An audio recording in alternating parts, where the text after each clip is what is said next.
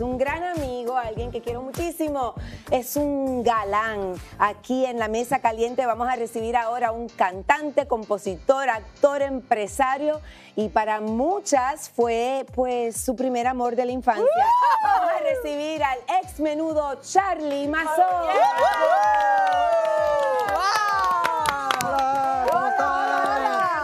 Hola, muchas gracias por la invitación. Bienvenido. Qué bien, Wow. Qué bien, qué bien, qué bueno estar aquí con ustedes. Estabas escuchando el resto Estaba del ahí programa. viendo todas las travesuras que llevan rato. ¿Cuál es haciendo. la aventura? Hoy solo es jueves sexual. Bueno, por nada eso, más. luego vamos a hablar de fantasías sexuales en el corte. No, mentira. Y cuando, cuando- no, cuando yo cuando estaba haciendo novelas en Telemundo en Puerto Rico, que yo empezaba, ellos estaban en el programa de menudo en el estudio de enfrente y Así se veían así chiquititos, los llevaba caminando a veces con una capita amarilla, Sí. estaban todos ahí. ¿Cómo ha sido para ti, este, digo, bueno, tuviste esa época con menudo que era la locura, Brasil, todo, o sea, era, los comparaban con los Beatles. Sí. Eh, ahora, después de salir de toda esa locura, ¿cómo fue la vida después? ¿Qué se siente después Pues, de eso? Yo, yo creo que de verdad fue un asunto muy personal de cada cual. Yo cuando me retiró del grupo ya estaba cerca de los 17 años, eh, ya tenía mi primer disco pensado como solista, ya tenía una visión eh, de comenzar una carrera eh, como solista, ¿no? Así que yo en mi carácter personal estaba listo. Eh, de ahí, pues viene la transición a que, bueno, sales de una institución y tienes que comenzar a construir. Sí.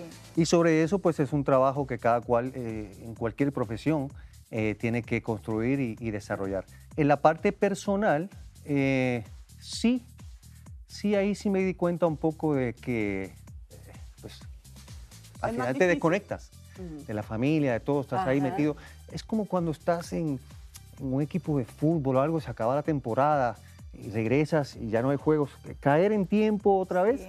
eh, A la realidad, es difícil Porque era una locura. si no te dedicas a esto. Claro, claro. Si te mantienes en la carrera, pues al Fueron final estás niños muy haciendo lo que quieres famosos, hacer. ¿no? Fueron niños muy queridos y sigue siendo hombres muy queridos por muchas de nosotras que por supuesto seguimos admirándolos y recordándolos con, con ese gran cariño. Pero ah, han pasado muchas cosas en los últimos años y es justamente en este momento en México en donde a Toño Berumen, otro de los grandes representantes de Ajá. grupos como Menudo, que fue el caso de, em, de, de la gente de Magneto Ajá. o de la gente de, y, y específicamente Mauricio Martínez, está haciendo una denuncia a, a Toño Berumen, como les pasó a ustedes con, con Edgardo también. Eh, ¿Cómo vivieron ustedes? ¿Cómo viviste tú todo ese escándalo de menudo? Si, si habían relaciones entre el, el representante y los chicos de la banda. ¿Cómo fue tu vida en Mira, yo pienso que, que es muy desafortunado. Yo creo que al final del camino eh, las personas entran a, a- a los proyectos o a las profesiones o, a- o por decirlo de alguna manera, al grupo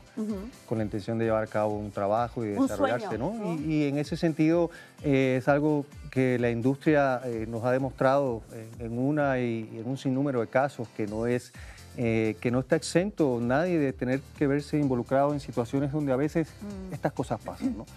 Eh, lo bueno es que las personas tienen la capacidad de tener el poder de decisión, el libre albedrío, de tomar una acción afirmativa con relación a su situación personal. Yo en el grupo estuve en una época donde trabajábamos 14, 15 horas al día, viajábamos todos los días. Era la época cuando se abrió Asia, eh, se abrió Europa, se eh, hizo el- el- la transición a Estados Unidos, se hizo Brasil, eh, se hicieron los comerciales para las grandes compañías de, de franquicias. Te tocó una de- buena época, claro. Entonces, yo sí, sí recuerdo mucho eh, eso, que era intenso, que era, que era constante, que no había mucho tiempo de, de desconectarte, ¿no? Claro.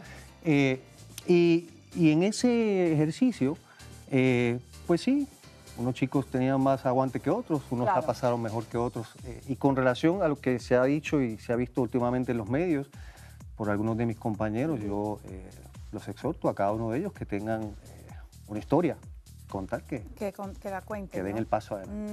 Mm, Y yo quería preguntarte un poquito para las fanáticas, por supuesto, todos ustedes los integrantes son hermanos y obvio pues les causa dolor verlos peleándose o en el escenario o en demandas. Sí. ¿Cómo va lo de la demanda? Pues mira, realmente eh, eso es algo que está manejando el, el abogado y no, yo no, no conozco mucho el proceso.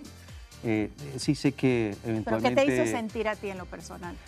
Pues es incómodo porque al final del camino uno piensa que las relaciones eh, se, ven- se basan en la confianza, en la transparencia y, y al final del camino eh, las acciones hablan más que los hechos. Sí. Eh, y en, en ocasiones yo creo que estas cosas se dan porque los procesos eh, están faltos de transparencia y, y pues tienen que entrar los profesionales a ¿Y no determinar. podrías arreglarlo directamente con Johnny Lozada, que es un No, tipazo como tú pues, también, Charlie? yo ahí- como hermanos. Sí, tratamos, intentamos.